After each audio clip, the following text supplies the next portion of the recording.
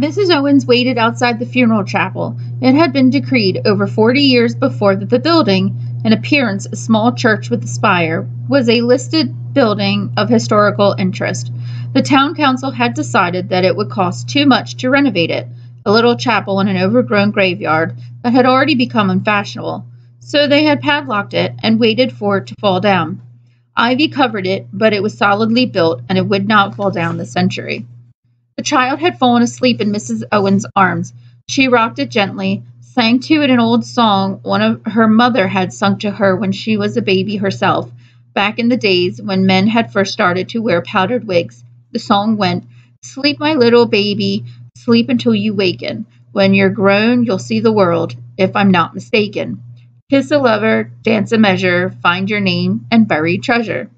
And Mrs. Owens sang all that before she discovered that she had forgotten how the song ended. She had a feeling that the final line was something in the way of, and some hairy bacon, but that might have been another song altogether. So she stopped, and instead she sang him the one about the man in the moon who came down too soon, and after that she sang, in her warm country voice, a more recent song about a lad who put in his thumb and pulled out a plum. And she had just started a long ballad about a young country gentleman whose girlfriend had, for no particular reason, poisoned him with a dish of spotted eels when Silas came around the side of the chapel carrying a cardboard box. Here we go, Mistress Owens, he said. Lots of good things for a growing boy. We can keep it in the crypt, eh? The padlock fell off in his hand and he pulled open the iron door. Mrs. Owens walked inside, looked dubiously at the shelves and at the old wooden pews tipped up against a wall. There was milled wheat boxes of old parish records in one corner and an open door that revealed a Victorian flush toilet and a basin with an old tap in the other. The infant opened his eyes and stared. We can put the food in here, said Silas. It's cool and the food will keep longer. He reached into the box, pulled out a banana. And what would that be when it was at home? asked Mrs. Owens, eyeing the yellow and brown object suspiciously. It's a banana, a fruit from the tropics. I believe you peel off the outer covering, said Silas, like so. The child, nobody, wriggled on Mrs. Owens' arms, and she let it down to the flagstones. It toddled rapidly to Silas, grasping his trouser leg, and held on. Silas passed it the banana. Mrs. Owens watched the boy eat. Banana, she said dubiously. Never heard of them. Never. What's it taste like? I've absolutely no idea, said Silas, who consumed only one food, and it was not bananas. You could make up a bed in here for the boy, you know. We'll do no such thing with Owens and me having a lovely little tomb over by the daffodil patch. Plenty of room in there for little one.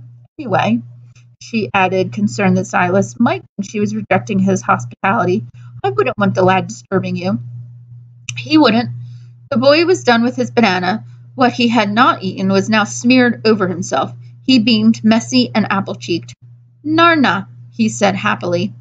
What a clever little thing he is, said Mrs. Owens. And such a mess he's made. Why, attend, you little wriggler. And she picked the lumps of banana from his clothes and hair, and then, what do you think they'll decide? I don't know. I can't give him up. Not after I, what I promised his mamma. Although I have been a great many things in my time, said Silas, I have never been a mother, and I do not plan to begin now. But I can leave this place. Mrs. Owen said simply, I cannot. My bones are here, and so are Owen's. I'm never leaving. It must be good, said Silas, to have somewhere that you belong, somewhere that's home.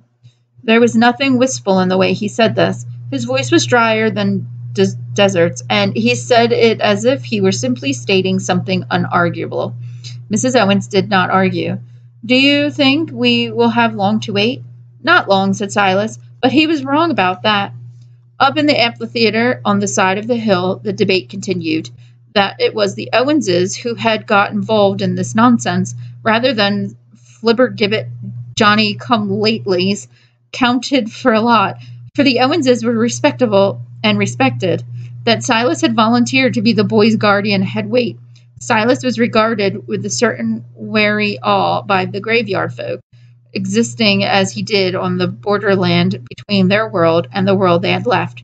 But still, but still, a graveyard is not normally a democracy, and yet death is the greatest democracy, and each of the dead had a voice and an opinion as to whether the living child should be allowed to stay, and they were each determined to be heard that night.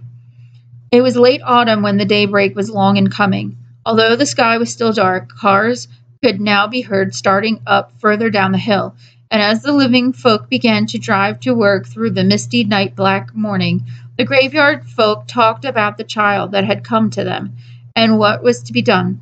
Three hundred voices, three hundred opinions. Nehemiah Trot, the poet, had, from the tumbled northwestern side of the graveyard, had begun to declaim his thoughts on the matter, although what they were no person listening could have said. When something happened, something to silence each opinionated mouth, something unprecedented in the history of the graveyard. A huge white house of the kind that the people who knew horses could call a gray came ambling up the side of the hill. The pounding of its hoofs called, could be heard before it was seen, along with the crashing it made as it pushed through the little bushes and thickets, through the brambles and the ivy and the gorse that had grown up on the side of the hill. The size of a Shire horse it was, a full nineteen hands or more. It was a horse that could have carried a knight in full armor into combat, but all it carried on its naked back was a woman, clothed from head to foot in gray. Her long skirt and her shawl might have been spun out of old cobwebs. Her face was serene and peaceful. They knew her, the graveyard folk, for each of us encounters the lady on the gray at the end of our days, and there is no forgetting her.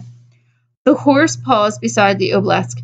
In the east, the sky was lightening gently, a pearlish pre dawn luminescence that made the people of the graveyard uncomfortable and made them think about returning to their comfortable homes. Even so, not a one of them moved.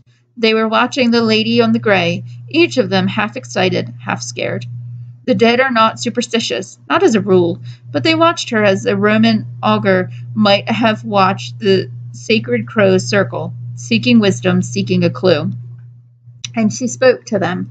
In a voice like the chiming of a hundred tiny silver bells, she said only, The dead should have charity, and she smiled. The horse, which had been contentedly ripping up and masticating a clump of thick grass, stopped then. The lady touched the horse's neck, and it turned. It took several huge, clattering steps.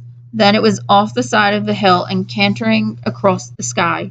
Its thunderous hoofs became an early rumble of distant thunder, and in moments it was lost to, the, to sight.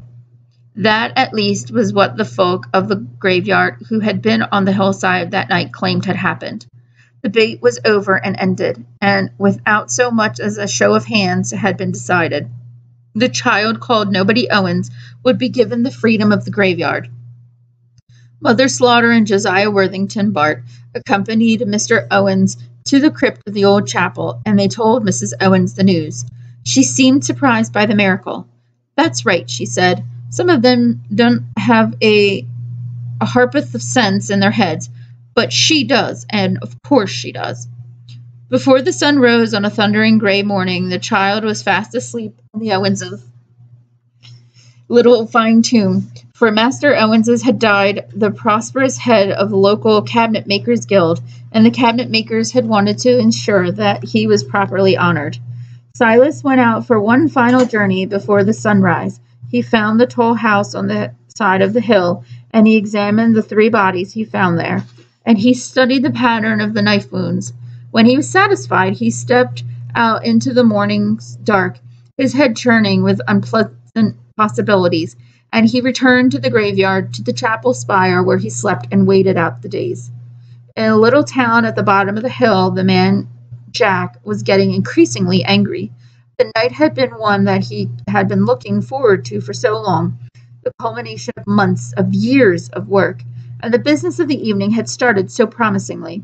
Three people down before any of them had even had a chance to cry out. And then, then it had all gone so maddeningly wrong. Why on earth had he gone up the hill when the child had so obviously gone down the hill? By the time he had reached the bottom of the hill, the trail had gone cold. Someone must have found the child, taken it, and hidden it. There was no other explanation. A crack of thunder rang out, loud and sudden as a gunshot, and the rain began in earnest. The man Jack was methodical and he began to plan his next move. The calls he would need to pay on certain of the townsfolk, people who would be his eyes and ears in the town. He did not need to tell the convocation he had failed.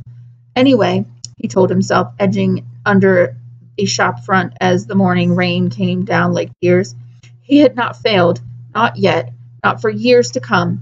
There was plenty of time, time to tie up this last piece of unfinished business, time to cut the final thread. It was not until the police siren sounded and a first and first a police car, then an ambulance, then an unmarked police car with a siren blaring, sped past them on their way up the hill that, reluctantly, the man Jack turned up the collar of his coat, put his head down, and walked off into the morning. His knife was in his pocket, safe and dry inside its sheath, protected from the mystery of the elements.